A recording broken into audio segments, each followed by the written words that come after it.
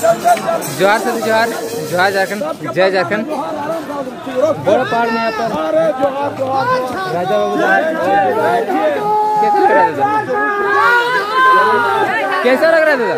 बहुत बढ़िया लग रहा है, बहुत दिनों बाद झारखंड जगह है, और पुरजोर जगह है।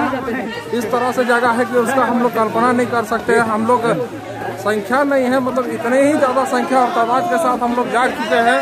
आने वाला दिन दशा और दिशा यही पहाड़ से तय करेगी कि झारखंड में झारखंड सरकार झारखंड के मुखिया कौन होगा? झारखंड का दशा दिशा यही पहाड़ से शुरू होने वाली है। इसी का उल्लान हम लोग नवयुवक जाग गए हैं और ये संकेत और चेता देना चाहते हैं कि जिस प्रकार से हमारी पहचान अस्मिता के साथ खिलवाड़ हो रही है जल ज़मीन जंगल हम लोग का पहचान है झारखंडी का यही जल ज़मीन जंगल को कब्जा करना छीनना काम कर रही है ये जिन लोग तो साफ़ शब्दों में जैन लोग को बता देना चाहते हैं हक मारिएगा बर्दाश्त नहीं करेंगे। पारसनाथ मांगोगे तो चीर देंगे।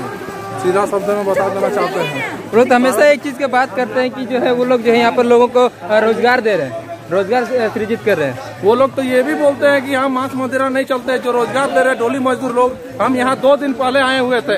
आपको भी पता होगा कि हम यहीं पे रुके हुए थे और ग्राउंड रिपोर्ट यहाँ से ले करके गए हैं। जो डोली मजदूर, जो वो लोग बोलते हैं कि यहाँ मांस मदिरा का सेवन नहीं चलेगा, वही मांस मदिरा का सेवन करके थकान मिटाने के लिए या उन लोगों को चढ़ाने के लिए उन लोग लेके और अपना थकान मिटाने के लिए कंधा पे जाते हैं। मांस मदिरा वाले नहीं चलेंगे, लेकिन मांस मदिरा खा के जो उनको कंधे पे ढो के ले जाने वाले चलेंगे। मानते हैं कि आप लोगों की वजह से उनका रोजी रोज़गार चलता है, पेट चलता है, लेकिन कहीं ना कहीं आप उन्हीं के कंधों में जा रहे हैं। अगर श्रद्धा है, भगवान के प्रति आपका इतना ही आस्था है तो आप भी इसी राह पे चल के और जाइए। तो बहुत सारा शोषण यहाँ धर्म परिवर्तन का शोषण यहाँ बिज़नेस बन चुका है। सिर्फ़ और सिर्फ़ बिज़नेस बन चुका है। हम लोग भी पढ़े लिखे हैं। हम लोग भी जानते हैं कौन सा ऐसा जंगल में बड़े बड़े इमारत खड़ी होती है। कौन से ऐसे जंगल में फॉरेस्ट लैंड में कब्जा करके ज़मीन दी जाती है। यहाँ अगर ग्राउंड बात करें तो सबसे ज़्यादा तूरी और हरी का ज़मीन दिया है। और दस लिख के लिया है। एक एक डिसमिल का दाम अगर दस रुपया होता है तो बीस रुपये के लालच से उनको दुगुने लालच से उसको दे के मांस मदिरा का लालच दे करके उनसे दस डिसमिल की जगह सौ डिसमिल लिखाए हैं। ले जाने का साथ साथ सौ डिसमिल का जगह दो सौ डिसमिल कब्जा किए हुए हैं। आज रोकते हैं लोग। अब जरा यहाँ पर दो चार दिन रहे तो देखे लोगों से मिले समझे ज़रूर होंगे। तो यहाँ के लोगों को क्या ज़्यादा किस चीज़ की अब यहाँ पर लोगों को समस्या और या ज़रूरत किस चीज़ की लग रही है? यहाँ के लोगों को बस एक बंधा मजदूर की तरह मानसिक प्रताड़न किया जा रहा है। मानसिक दबाव और उनको इस पहाड़ से बाहर जाना ही नहीं दिया जा रहा है।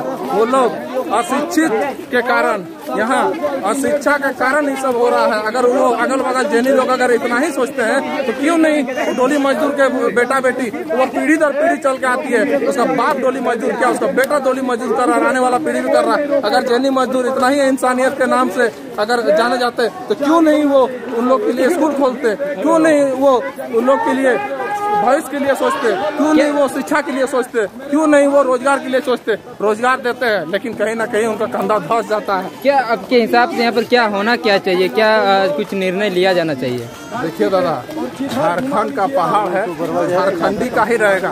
अगर घर हमारा है तो छत हमारा ही रहेगा। ठीक उसी प्रकार आदिवासी मूलवासी का माराम गुरु। हम लोगों का बड़ा पहाड़ हम लोगों का जंगल झारखंडी का है, आदिवासी का है यह नथा कोई जेनी का नहीं है, वो अपने देश में जाके आज आप पहाड़ की मांग कर रहे हैं। कल आप राज्य की मांग करिएगा, आने वाला दिन आप देश का मांग करिएगा। ये कौन सा लोकतंत्र में लिखा हुआ हम भी मानते हैं, हम भी पढ़ा लिखा है, भारत एक लोकतांत्रिक देश है, इसमें सबको समान अधिकार है। लेकिन ये कोई किताब में नहीं लिखा गया है कि दूसरों के ज़मीन के छीन के उनको शोषित, वंचित ज़बरदस्ती कब्जा करके उसको ढकेल के अंधकार में, ढकेल कर लूट के, छीन के लेने का काम, ये कोई नहीं बोलती है। कोई किताब नहीं बोलती है, कोई शिक्षा नहीं बोलती है। बहुत बहुत धन्यवाद दादा हमारे साथ बात करने लेकिन कि चरण में काफ़ी सारी परेशानी हो रहा है लेकिन फिर भी आप अपने जो बातें हैं, वो हमारे बीच में रखें, यहाँ पर लोगों के बीच रहें आप जाने समझें। तो आपका बहुत बहुत धन्यवाद दादा, जोहार करते हैं। बहुत बहुत आभार कि आपने चैनल के माध्यम से लोगों तक ये ये और मैसेज पहुँचाने का काम किया, लोगों को जागरूक करने का काम किया। आप भी सारे जगह पहुँचते हैं। इसीलिए आपको भी तहे दिल से धन्यवाद। आभार, जोहार। बहुत बहुत धन्यवाद जोहार।